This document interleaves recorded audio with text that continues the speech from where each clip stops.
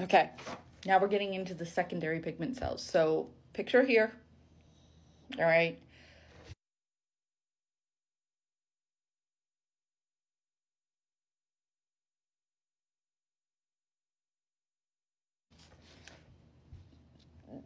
These have several different things about them. Okay, so first I'm going to go over the number. There should be 6 to 18 depending on order, genus, insect groupings. Okay.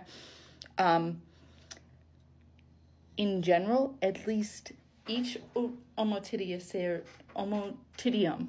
shares six with the neighbor Ommatidia. So this is the chain linking in the actual compound eye. It's these secondary pigment cells. They are always shared with a neighbor. And because they are hexagonal, it's basically like one half of the hexagon gets shared and then the other half of the hexagon gets shared and then again because they're all tightly packed together. So in general again 6 to 18 butterflies tend to have a lot more of these um, but then you have something like um, like a springtail that has very minimal um, they all function the same though. These are the mobile pigment cells okay what happens is in that picture, if you see they were long, they go all the way from the top of the crystalline cone and the pig, the primary pigment cells all the way to the basement membrane. Okay, they follow right along what we would consider the the optic nerve of the rhabdom and the photoreceptors. Okay, they they just go right down through it. Um, and the pigment, very much like I our eye in these secondary cells is like our iris, where it can our iris dilates, expands, and contracts. The pigment, instead of expanding and contraction, moves up and down. Okay, so when they do not need a lot of light, the superposition eye, the pigment is evenly distributed. Okay, um,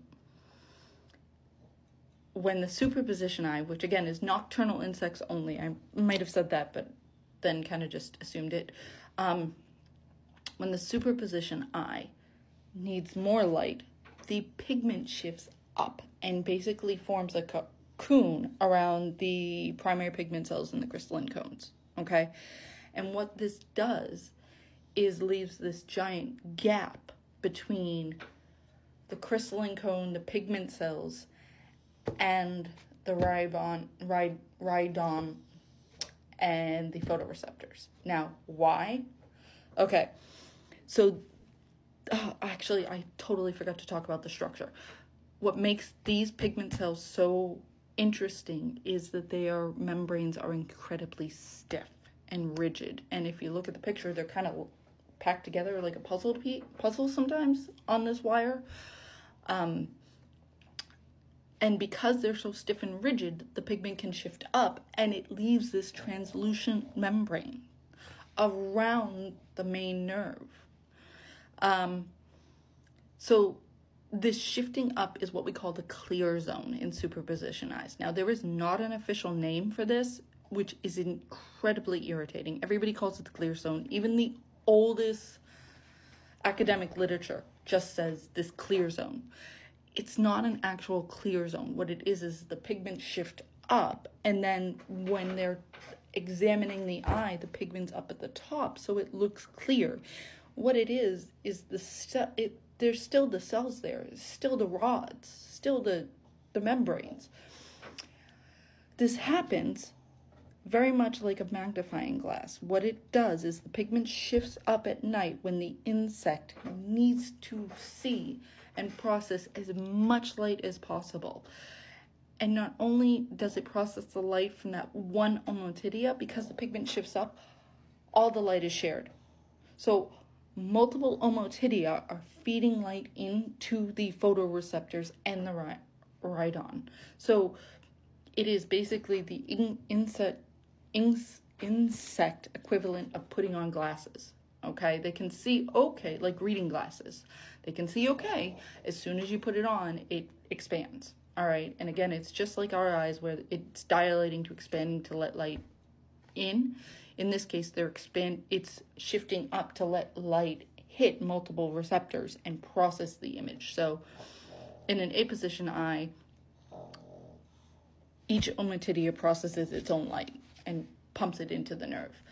In a superposition eye, because of these mobile pigment shifts, every ommatidia can translate multiple to different photoreceptors. And it, basically is why like flies and moths have such good vision. Um, also in nocturnal insects like butterflies that or nocturnal insects that became diurnal they still have this type of eye.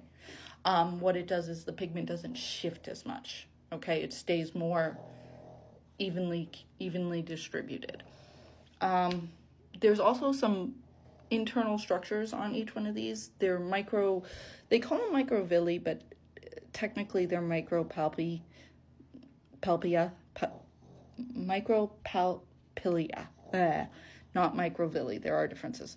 Um, and so those are kind of like the little hooks that trigger the different photoreceptors. Um, but again, that's eye specific, that's structure specific. So if you really walk out of this, just understand that these secondary pigment cells are long. They the pigment can shift up. Um, all the organelles and everything too are all shifted to the top of the cells. Okay, everything. It's like the entire cell just says gravity does not matter. um, and yeah, this is what actually makes Ommatidia work is because especially if they want to like pick up more like ultraviolet light, they'll shift the pigment on that receptor. So it, it's their lensing, it's their focusing. So really cool. And now you understand pigment cells and the clear zone and the superposition eye and see why it had to all be together. Also, I want to add this was the part that was most difficult to understand about ommatidia because until you actually see this shifting in lab and under a microscope, it is freaking hard to comprehend. Like, it does not get communicated or translated or written right, but it, it definitely was the mind blowing moment where I said, This is what we're studying.